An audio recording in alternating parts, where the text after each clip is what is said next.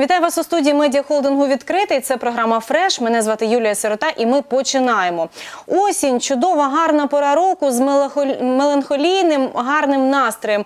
І е, з депресією дуже часто ми не звертаємо увагу на те, що відбувається з нашим психічним станом, та як зробити так, аби ми усі з вами були здорові. Саме з питаннями депресії звертаємось до гостя, яка прийшла сьогодні до нашої студії. Це Єлизавета Фаузі, кандидатка медичних наук, лікарка, психіатрка, доцентка кафедри загальної медицини з курсом фізичної терапії ДНУ імені Олеся Гончара. Рада вас Доброго бачити, дня. пані Доброго Єлизавето. Е, Насправді так дивно, що осінь терпкий запах листя, коли ми всі радіємо листочкам червоним, жовто-гарячим, зеленим і таким кольорам дуже гарним. І тут е, депресія.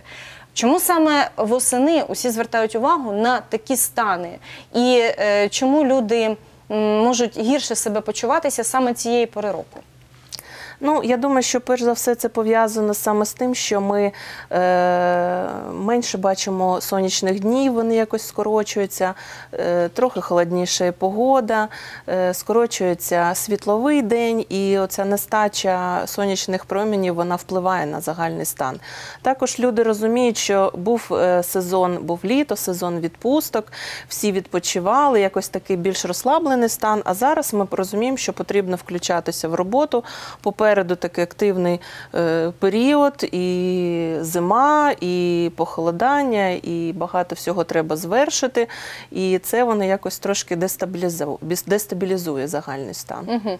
Дестабілізація людини відбувається лише е, коли вона може розпізнати ці явища. Так, а якби вона думала, що от попереду в неї відпустка, мабуть, її внутрішній стан трошки був іншим. Я Так? думаю, що так. Да. Е, Тобто, якщо люди розуміють, що на них може впливати погода така, чи е, можливо нестача сонця, то е, можна собі допомогти поїхати в теплі країни і відпочити там. Так, Ну, так можливо, да. таким Якщо є можливість, я думаю, що їй варто скористатися. Це буде дуже корисно. е, З приводу погіршення ситуації і погі- погіршення вашого внутрішнього стану, дуже часто одні люди не помічають, що з ними стається, а інші дуже реагують на усі зміни. Від чого, чому так відбувається з одними людьми, чому інші не відчувають, і е, що робити е, взагалі в загальній кількості людей, аби їхній стан був нормальним, стабільним. Ну, я вважаю, що перш за все велику роль відіграють індивідуальні конституційні особливості кожної людини. Ми всі різні, ми всі по-різному реагуємо на ті чи інші ситуації. Ми по-різному сприймаємо і переносимо стресові ситуації. І для когось це легко, людина швидко перестроюється і не звертає на це увагу. Для когось це більш інтенсивне, воно призводить якось до таких, може, деяких легких е- психологічних порушень, там тривожність, внутрішнє напруження. Але е, Розпізнати ці стани е, взагалі е, дуже важко, якщо ти не розумієш, куди саме потрібно дивитися, на що звертати увагу. Тому що це не відбувається відразу. Там ти зранку прокинувся і зрозумів, що щось не так. Воно відбувається дуже поволі. Е, Якось так легко, ну як таким, як у болото затягує людину. І в якийсь момент зупиняєшся і розумієш, що ну майже якийсь глухий кут, яких перспектив немає, е, нічого не радує, нічого не хочеться робити. І у мене такі є пацієнти, які кажуть, ну що навіть не звертаєш увагу на такі жіночі речі, наприклад, там нова сукня, новий манікюр, хочеться зробити зачіску. Стає повністю байдуже до всих цих е, подій. І Квіти не радують, так? Нічого Якісь не радує. солодощі, те, що жінка могла собі дозволити. Така апатичність раніше. з'являється. І, Ну, солодощі тут такий стан. Да? Е, Мозок він нам посилає сигнали, і через солодощі він якби дає нам можливість там трошки вуглеводів для себе енергії при- придбати. Да? Іноді люди е, навіть починають більше вживати солодощів або якихось таких швидких вуглеводів, якихось там пиріжочків, бубличків, печенюшечок, щоб щоб якось оцей стан трошки е, Нормалізувати. нормалізувати Мгм. да. Але е, така апатичність, а іноді навіть роздратованість, що ну от, прям бісить усе вокруг. Хочеться прям якось такий конфлікт е, створити, щоб е, З нічого. Да, Раніше щоб могло- ці, ці можна було- емоції на- намагатися якось виплеснути, але це також не приносить задоволення. І також я вважаю, що дуже такий е, важливий критерій це якість сна. Як людина спить, е, наскільки вона відпочиває під час сну, наскільки швидко вона засинає, наскільки чи достатньо цей сон глибокий. Е, І коли вона вранці прокидається, наскільки вона відчуває оцей е, Ну, що вона відпочинок. так, да, тому що є такий симптом, як симптом е, м, у- утомлюючого сна, коли людина прокидається і вона чу- відчуває себе ще гірше, ніж до того, як вона спала. Пані Елизавето, так виходить, у нас е, більша половина нашого суспільства українського, мабуть, е, страждають таки на ось такі прояви, про які ви тільки що сказали. Ну, Бо це дуже часто таке стається. м, Я і б так люди би категорично і з обережністю про це казала, але передумови, е, звісно, є. Да? І внутрішній стан, і наша зовнішня ситуація, якась така нестабільність, економічна, соціальна, вона також додає оцього негативу. І люди всі знаходяться, я б не сказала, що це прям депресивні якісь прояви. Є таке поняття, як межові граничні Мгм. розлади. Да? Тобто це не та е, така розгорнута психіатрія, на яку потрібно відразу звертати увагу, але це те не вже не той стан, коли людина зможе самостійно впоратись. А вже в такому випадку, Можуть, якщо погано да. спимо, якщо нас нічого не радує, якщо ми не можемо впоратися зі своїми депресивними, ну такими роздратованістю, Так, скажімо і так, я думаю, що також треба зазначити, що е, часовий інтервал, якщо це триває більше ніж два тижні, от на це вже потрібно звертати увагу. Обов'язково. Пані Елизавето, це е, добре, що ми сьогодні говоримо про це і загострюємо нашу увагу саме на таких е, проблемах. Е, Скажіть тоді, будь ласка, ось за таким переліком, якщо все це ми розуміємо, у нас є, чи можемо ми самотужки? Намагатися виправити ситуацію. Можливо, щось можна якось себе заспокоїти, можливо, десь відпочити, можливо, десь взяти невеличку відпустку. Що ми можемо зробити, аби трошечки хоча б себе привести в норму? Ну так дійсно е, не потрібно лякатися, потрібно якісь активні е, міри все ж таки е, приймати. Наприклад, сходити з сім'єю кудись відпочити на природу, не в шумний якийсь супермаркет, а десь отак наодинці, щоб подихати воздухом, проконтактувати з пташками, з деревами, трошки якби таку релаксацію собі зробити. Можливо, знайти для себе якесь таке е, хобі, захоплення, яке дійсно приносить задоволення, і людина готова цим займатися і відволіктися, і знайти час у будь-який момент. і Приділити цьому задоволення. Це також дуже важливо, це емоційне розвантаження. І я вважаю, що е, спілкування це такий е, дуже важливий момент, тому що на зараз, е, особливо якщо велике місце, місто, ми всі живемо, навіть не знаємо, хто живе поряд з нами. Да? Ми в багатоповерхових таких е, домах, і люди е, годами сусідству не знаємо, хто там так. рядом з нами, що відбувається. Ми не розмовляємо. Ми якось перевели все у, у соціальні мережі, у мережу інтернет, і ми спілкуємося або через телефон, або через смс. Зараз серед молоді е, модно такі голосові якісь повідомлення відправляти. Немає живого спілкування, немає емоційного контакту, немає от передачі якихось таких флюїдів, і це також дефіцит. е, Він Е, Тим більше зараз, е, зараз в момент, коли люди не мають можливості от через ковід вийти і просто з друзями попити кави, так чи просто посидіти, поспілкуватися. Ну от як як зазвичай, то це теж впливає, мабуть. Ну, 100% впливає. Да? Якщо ти в такому якомусь напруженому стані, ну, одне діло, ти просто собі зробив вихідний і сидиш вдома, а інше діло, ти усвідомлюєш, що у тебе є певні обмеження. Якщо ці обмеження виникають, завжди таке протиріччя, хочеться кудись обов'язково сходити, щось обов'язково зробити. І е, от такий стан напруження, особливо якщо там весь час е, моніторити ситуацію у засобах масової інформації і бачити, що ну, все погано, все, все тільки гірше, що ну, цей такий напруження, такий стан, він. Виснажує нервову систему.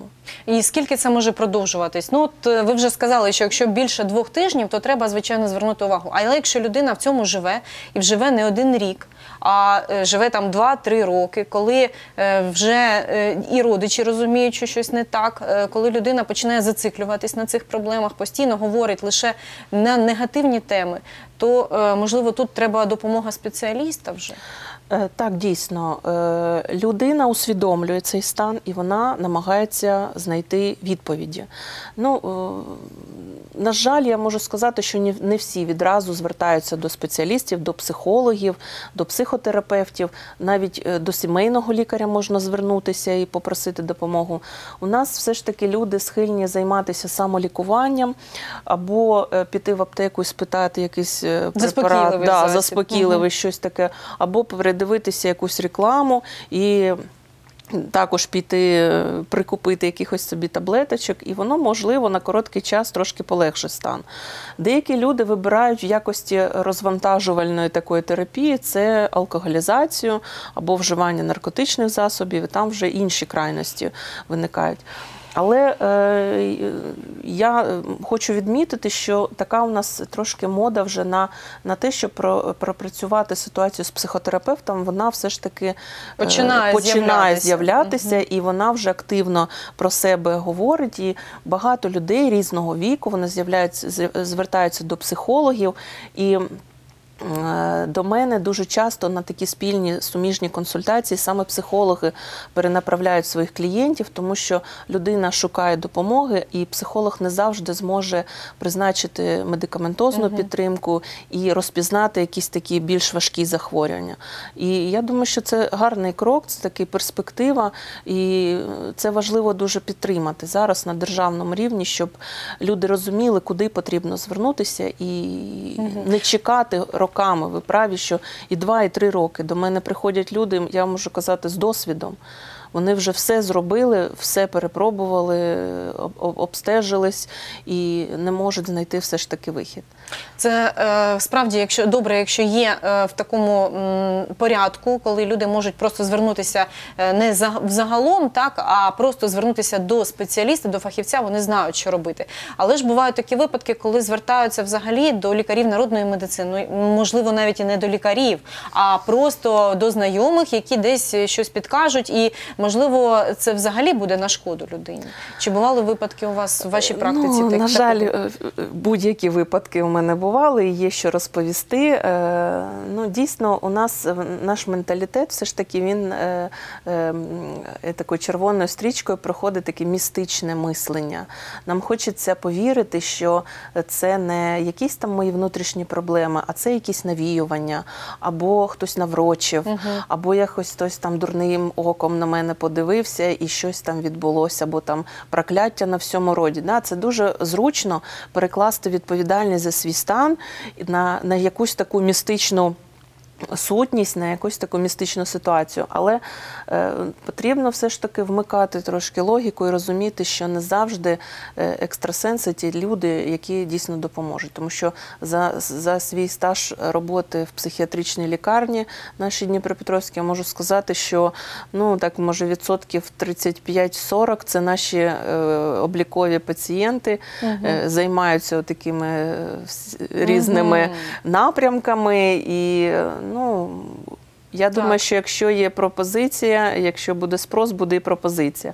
Ну, е, все ж таки потрібно йти офіціальним шляхом і шукати саме через офіціальні якісь джерела спеціаліста, хто буде розбиратися з цією ситуацією. Е, Пані Елизавето, а як ви думаєте, можливо, ще у людей е, залишився той страх, е, коли могли помістити, наприклад, в психіатричну лікарню, так коли могли тебе закрити, і ти не маєш доступу в спілкуванні з родичами, коли це вплине на твою подальшу роботу, на твоє життя? Можливо, це ще відіграє велику роль. Так, дійсно, ситуація так званої стигматизації, да, коли люди е, не розбираються там, в, які, в якому відділенні в, в лікарні психіатричній ти лежав. Ключове слово це психіатрична лікарня.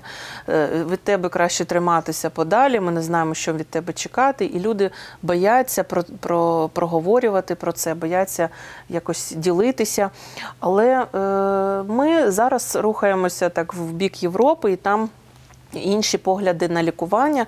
Тобто максимально пацієнт має бути наближений до своєї е, до свого побуту, до своїх рідних. І госпіталізації потребують тільки ті пацієнти, які вже ну е, стан. да, е, представляють небезпеку для себе чи оточуючих. Да? Потрібно їх ізолювати для того, щоб провести інтенсивну терапію. Але ці стереотипи вони все ж таки зберігаються, тому що в радянському союзі психіатрія вона носила такий, таку карательну функцію. Да? Тобто, якщо там когось потрібно було покарати, е, лікували в психіатрії. Зараз це інші, інші методики, інші напрямки. У нас е, такий широкий спектр е, медикаментозної підтримки. Ми можемо скоректувати. Я вважаю, що будь-який стан. Головне, щоб людина звернулася вчасно. І не потрібно цього якось е, е, сти- стидатися, потрібно Така шукати сама відповідь. хвороба, як і інша, звичайно. Так, так. Просто треба це зрозуміти, врешті-решт. Що е, якщо ми потребуємо, е, наприклад, там не знаю, руку полікувати там чи серце, так то чому ми не можемо полікувати і психічний стан? Так, да, тому що дійсно ситуація дуже серйозна, і зараз ми на першому місці в Європі по кількості хворих з депресивними проявами. 6% населення України страждає на депресивні розлади. Я ж вважаю, що це офіційна статистика. Да. А скільки людей не звернулося, ми можемо сказати, що як це верхівка айсберга. Що воно там е, в глибині під водою, ми цього не знаємо. А як ви думаєте, чи можна е, спрогнозувати? Ось якщо суспільство, ну можна сказати, е, хворе, ну я так е, скажу загалом, але все ж, якщо є така статистика, то факти говорять самі про себе. То можливо будуть від вас якісь рекомендації на останок, як збалансувати свій стан, як можливо не звертати увагу на ті труднощі, які ми всі переживаємо.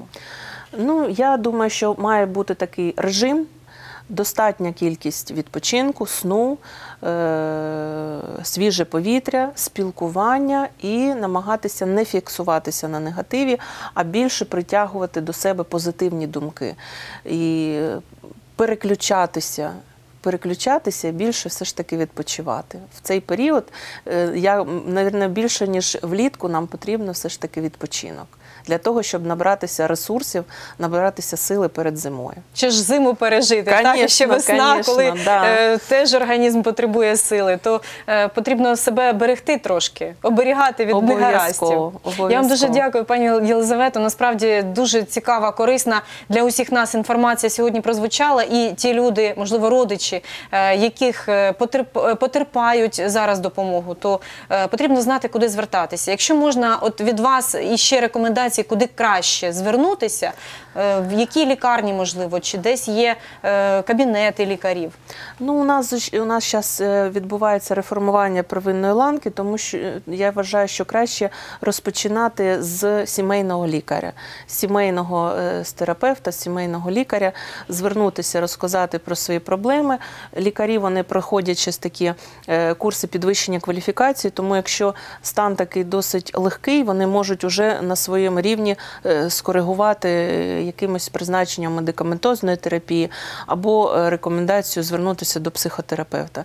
Якщо сімейний лікар бачить, що якісь проблеми такі, які важко піддаються корекції, він уже далі е, видасть направлення і до більш вузького спеціалісту за необхідністю. Єлизавета Фаузі сьогодні була у нашій студії. Дуже дякую вам. Будемо чекати вас ще у нашій студії. А ми зустрінемось вже за декілька хвилин.